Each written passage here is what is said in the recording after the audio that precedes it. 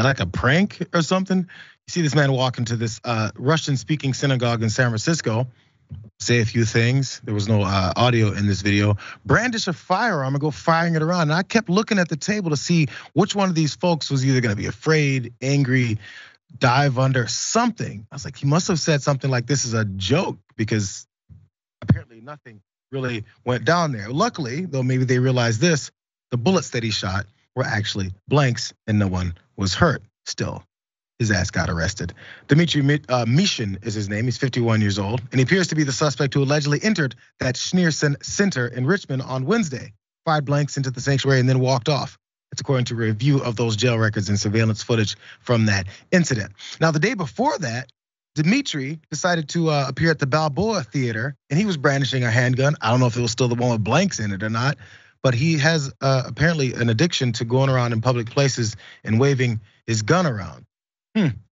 Here's a, a little bit uh, less surprising part about this guy's profile. He turned out to have some Nazi sympathies, of course, and he also has a presence on Twitter where he's posting a bunch of anti-Semitic content as well.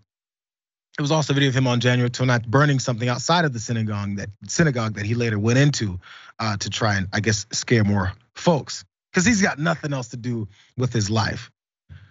A couple days after that, though, uh, there was also a post from his uh, propaganda on his Nazi about Nazi Germany with the words on this poster that read "Attention, Jew." That's the that's the translation there because again, this must be fun for him now he's been arrested. So also there's other posts he had who apparently was him as at a younger age posing in his favorite uh, Nazi regalia as well because he's a badass.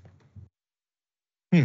He was arrested on February 3rd based on that photo of him with the gun at the Balboa Theater. So maybe he shouldn't have been brandishing it around so much. The FBI posted that photo of that suspect standing in the theater and uh, holding that pistol in his hand pointed toward the ceiling. So by Friday evening, though, that gunman was taken into custody in the same neighborhood after investigators searched his home and found evidence that connected him to both of those incidents. Uh, he was booked into county jail shortly after midnight Saturday on suspicion of various charges, including disturbing religious assembly and brandishing an imitation firearm.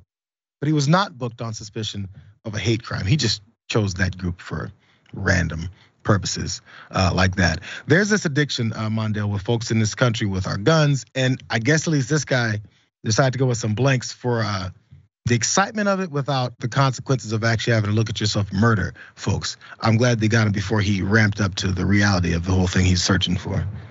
Indeed, I, I this story is so remarkable. Uh, I, I, need to hear the audio and I need a Russian translator because I, I, the, the the level of calm at that table while he's talking. First of all, most people turn around, see him clicking a gun, then turn back around and continue into the conversation they're having. So I don't know what happened. I don't know if these people are familiar with this person or if he's been in there threatening them before. I don't know what the case is. Even the rabbi's response initially was, "Oh, we thought it was a joke, or we weren't really afraid about it, worried about it." And I and I'm I'm thinking to myself, "Oh my, we're not really worried about this. And then he said they until it wasn't until they found out about him posting Nazi swastikas on his Twitter that he was uh, beginning beginning to get a little afraid. The idea, though, even that someone is running in there playing with, uh, you know, this this fake firearm is still threatening and also alarming because, like you said, it's only a matter of time before those are not fake firearms and someone is dead. Um, this person should be prosecuted. It definitely should be a, a, hate crime, especially in the context of what's been posted on their website and how they're targeting people. Um, this is this is dangerous, uh, and this is extremely dangerous uh, behavior and it cannot be dissected or put in siloed away from our political climate at this moment, where we have the FBI saying that the number one hate group in this country are neo Nazis and white supremacists.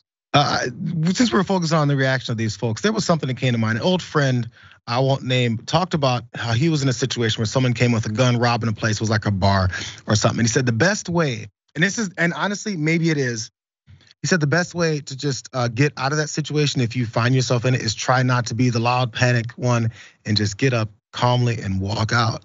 And he did that once. He said it worked like a charm. And it looked just like what that older gentleman was doing that met him at the door. He even waved as he left, maybe opened it for him. And it kind of throws off the guy because he expects fear or panic or craziness or attacks or aggression, something. And if he, the, the man right there in the in the sweater, um, just saunter out maybe it's the real deal. Maybe it's, it is what you're supposed to do because no one really reacted. uh, they got they got better nerves than I do. Uh, but again, this uh, apparently that's what he was looking for. Maybe he didn't get it, and that's what uh, caused him to leave.